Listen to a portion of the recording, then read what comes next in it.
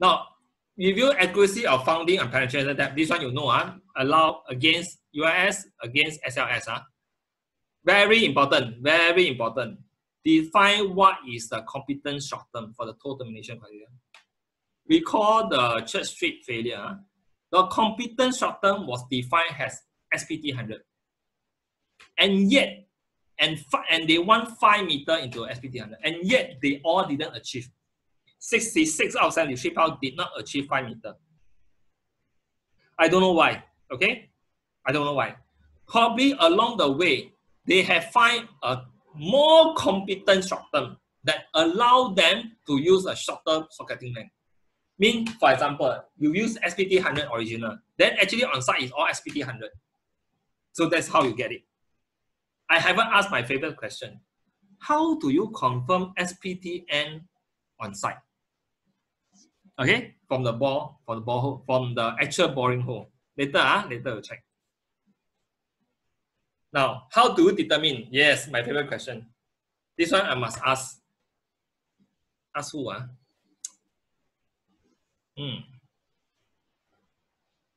Who want to attend? My okay, let me rephrase this question. Let's say today the designer say, hey, my power must stop in SPT 100. So today, the contractor happily uh, boring, boring on the side and in your design say the SPT 100 will encounter at 30 meter below ground. So when they reach 30 meter below ground, they say, hey, this is SPT 100. Somebody have to confirm this is SPT 100. How do they confirm? Whether this is SPT 100 or 99, 79, 85. How do they confirm? I want to ask, okay, I think this is my RTO. Mark Edward Fastino. Mark, are you there? Uh, yeah, yes, sir. Are you my RTO? No, no. Oh, okay, sorry. You you you from Philippines, right? Yeah. Where are you working now? Um, CPG. No, has designer? I uh, know, yeah, on site. On site, right? You are RERTO, right? Yeah. Okay, you tell me now.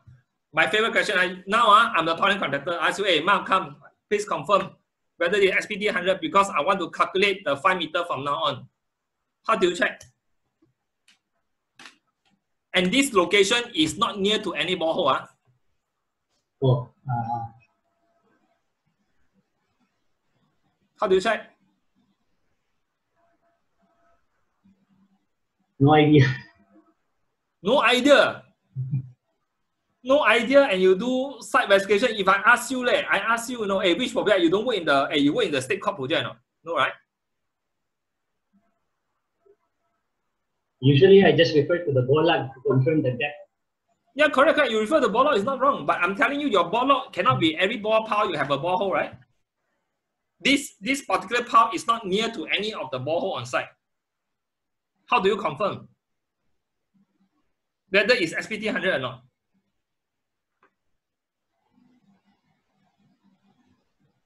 You don't know the answer, right? Very good. You admit you don't know is better than you think you know. Okay, very good. Let me ask another guy. This one very important. Go get po.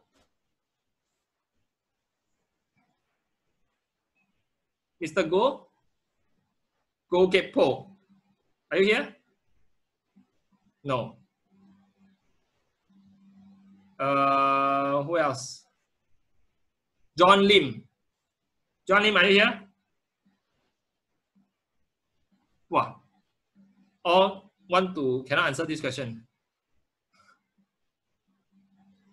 Who want to answer this question? Hey, this is a very important question, you know. Uh, hi. Yeah, you I'm- are. I'm Min Win. I'm an undergrad from uh, NUS. You are Min I don't Win. think Ye Min Win, is it? Yeah. Okay, good. How Uh, you like, answer? uh, uh, I'll just, I, I'm not sure, but I'll just use my limited knowledge to try. no you Uh, try. Is it like you just do a, a SPT test? Like, Sorry?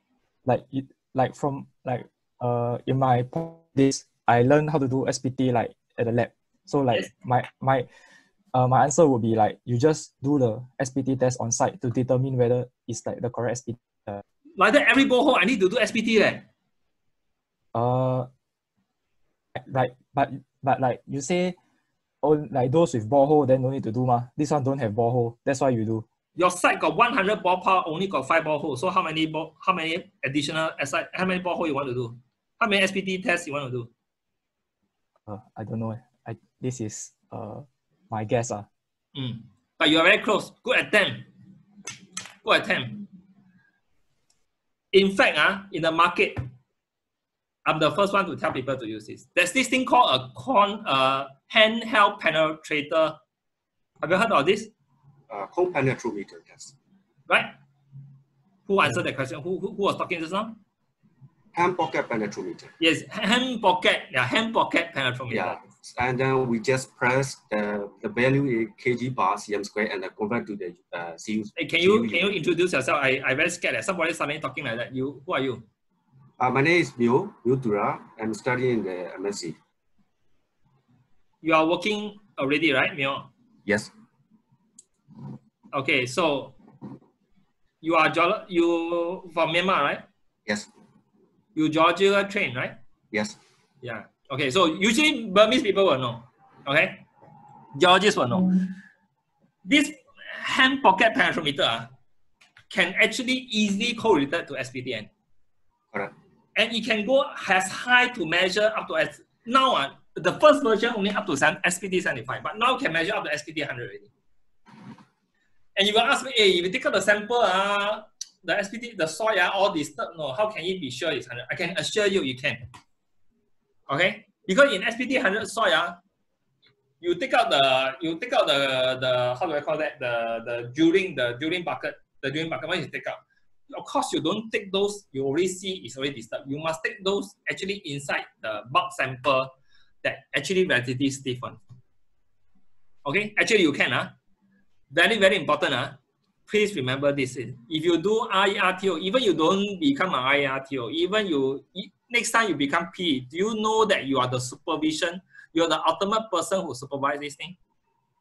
And if you're telling me you don't know, uh, how to determine on site, then if you, you yourself don't know, you expect the site people to know.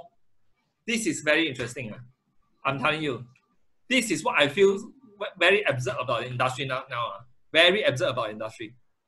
And I foresee, uh, and I foresee, we, we will have foundation failure very, very soon. Okay, very soon. That's why I want to do this kind of seminar. Okay, now good ah, good answer.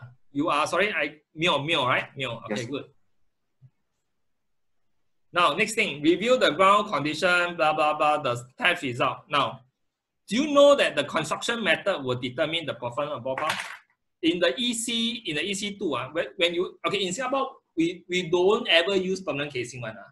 Nobody left in the casing unless for certain special reason for debonding we use permanent casing. ah. Even for debonding we don't use, it's too expensive.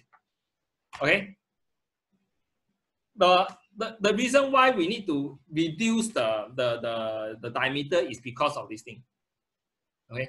The because of whether the, the deformation. I have not even talked on how do we do a performance checks on the bored pile. Okay, that will probably in my third lecture that I'm going to do.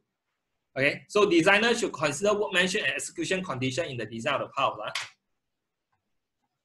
So for those who people who have not seen bored pile how it's been done, this is a is a diagram for you to see. Okay, you can see. Now, real practical example. This is, I cannot tell you the location. This is many years back. This is my first uh, QP Geo project. Okay, first QP Geo project. Is uh, it's a single tower block. It's a single tower block, more than 30 story, very luxurious uh, condo. The blue color boreholes are the existing borehole before I was on board. Okay, and the yellow, the four yellow boreholes are the addition borehole that I call for. Why you notice the tower block is here? You notice the blue color boreholes are actually uh, not within the tower block. Anybody want to guess? I think you all don't have time. You all also feel tired, right? But this is the most important. The reason why they do it because at that time the existing building was not demolished. So the consultant, original consultant, do the borehole just on the fringe of the existing building, even though he never touched on the main tower block. Okay, even though it never touched on the main tower block. Gerardo Pitaro, you, you sound very familiar. Okay, so you they never do. So when I was on board, I said, hey, we better have a more representative condition. So I start to do core in the in the tower block, and also out in the other loaded area. And you and you see the blue line, right? This blue line is actually the zoning. Zoning, okay, for those practical design, you know, right? Uh, we zone the site such that we, we will decide this zone, what is the representative borehole we use for design. And you notice how I zone, I zone very complicated already, right? Very complicated. You see how I zone? This, this main tower block, this zone uh, is covered by, so big area is covered by this borehole. Nowadays, when I check, I have checked more than 10 projects every year. I see the way they zone. Wow, they zone the ground as if uh, the zone, the borehole condition will follow according to their zone. Okay? They ideally zone the site like a grid and idealistically assume the ground will also behave like a grid. This is very dangerous. Huh? Actually, the zoning part is the most difficult thing part and very difficult to do. Okay. Now, how do you classify different zone? I don't have time to cover here, but I just want to highlight to all of y'all who are doing design in the design office. You better pay attention how you classify the zone. Okay, it's not so simple. Again, I cannot have time to cover here. Probably I will have to do another lecture to tell you how to do this thing. Oh, okay, there are many things to consider. Okay. Now, the actual soil condition be more complicated than what you think. You look at here, this, this soil profile. They thought there's a rock. The rock head is very high here. Okay, you see the red part is a, the red color is a rock. But in between the rock, there's no rock. There's a deep valley below. If your design based on only rock socketing, that the pulse must reach the rock, well, I tell you, in this project, the piling contractor will go bankrupt because he can never find the rock. You see here, he can never find out. The rock probably go much deeper than what is being shown here. Okay, so real life problems are these are real life. Many piling contractor when they see rock formation, any rock piles, rock socketed piles, they are, well, I tell you, they almost every night they cannot sleep. I tell you, if they see the consultant, they know don't know how to do one. Uh, they even more worried. Okay. Now I'll give you one example. Uh, one example. This is a real example. Let's take for example. This is uh this one borehole. Okay. This is the the pulse is a two pulse group. This pulse is a 800 mm diameter. This is a standard nodes. Okay, the parameters already designated by the consultant is 2.5 N for soil. Okay, for soil. Huh? G5, G4, G3, anything less than 100 is 2.5 N, less than 250. For G2 better, G2, or that means it's rock, the rock friction is 400. And for end bearing, it's not more than 6,000. For the rock, it's not more than 8,000 now. This is what you have now. Huh? This is what the structure consultant give to you now. The load, okay? He will give you the load. Huh? Where's the load? Uh, the load is here. Okay, the C1 load is 6152, 615 ton. The C2 load is 472 ton. So there's a C1 load, the design combi one load, action. Sorry, I should use the word action. This is the action.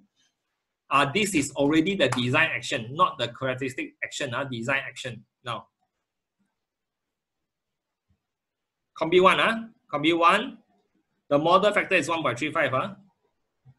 What you need to do is you the the resistance, uh, the resistance, the design resistance, RST stand for design resistance, shaft design resistance, is 2.5 N for combi one is 2.5 N divided by R4, which is 1, and divide by the model factor. Okay, this thing cannot be more than 250. The end bearing here cannot measure 6,000. The N measure 6,000. So it, it will not because the n maximum is 100. So 6,000 divided by 1.35 can never exceed 100. Likewise, this one also can never exceed 450. For the rock, right, same thing. You will not exceed 400. You always 296 and 5926. Okay, so this is actually uh, how you do the design. Huh? Likewise, you calculate for for combi two. Now you have a you have a R4 factor which is more than one. That means your resistance is lesser your, your end bearing also lesser accordingly. Now, one more criteria required by BCA is that you need to check the characteristic shaft resistance should not be less than 1.37 the characteristic load. If you can recall, this is similar to CP4, that we always do a friction check only, which whereby the friction divided by 1.5 must be higher than the allowable load.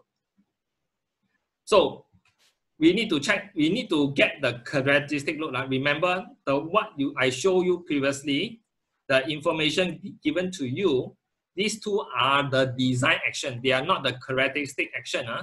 So you need to find out the characteristic action. Usually you get from the structural consultant, they will give it to you. So this is the thing, okay? This is the thing. You need to check the friction. Now for LTA CDC requirement, right? They you instead of 1.3, they use 1.5. They follow the CP4, but they use the EC7 def definition. Okay. Now, how do we go about? What is the purpose of ignoring the end-bearing in this check? This question I keep asking, this is the third time, right?